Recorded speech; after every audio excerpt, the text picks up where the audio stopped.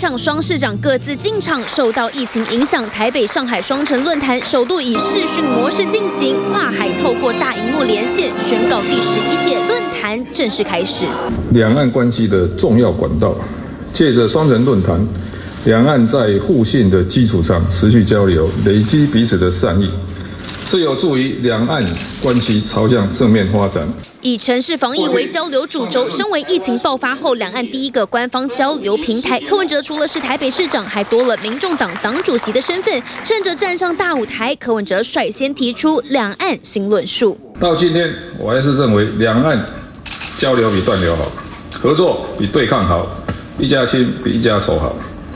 我一向主张五个互相的原则，虽然两岸之间仍有僵局，也各有坚持，但应透过沟通与对话。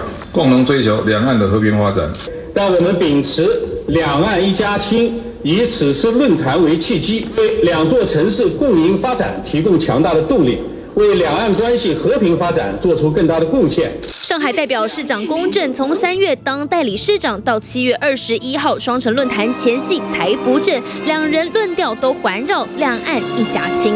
我一直不太赞成用意识形态来升高两岸人民之间的仇恨。并且提高了紧张的程度，并借此来获得个人跟政党在选举上的利益。卷上你考几分？这张考卷不会及格的。不用“两岸一家亲”五个字，柯文哲换个说法诠释两岸论述，在酸蓝酸绿话中有话。碰上一年一度的双城论坛，剑指二零二四总统大位的柯文哲，把握机会，每一步都精算。记者简宏琪、陈文月 S A 小组台北采访报道。